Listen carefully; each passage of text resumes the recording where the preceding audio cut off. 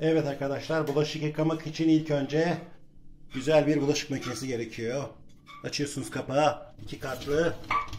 Deterjan nerede deterjan? Deterjan gerekiyor. Markasını söylemiyoruz. Bu sıvı deterjan. Ve bulaşıkları yerleştiriyoruz. Mesela açıyoruz burayı. Koy kızım. Bardaklar. Az kaldı. Çok da fazla bulaşığımız yok. Evet burayı kapatıyoruz. Alt kısma arkadaşlar tencere tabak Allah ne verdiyse daya gitsin daya gitsin. Böyle bir aparat var. Oo çok şık.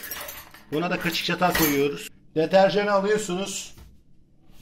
Şu bölgeye. Ben bir deterjan açayım ilk önce. Deterjan alıyoruz bakın. Hop. Max yazıyor orada.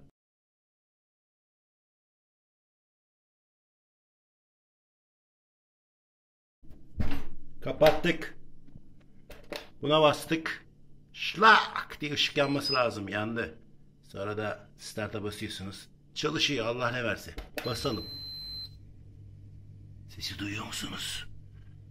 Çok aşın çalışıyor.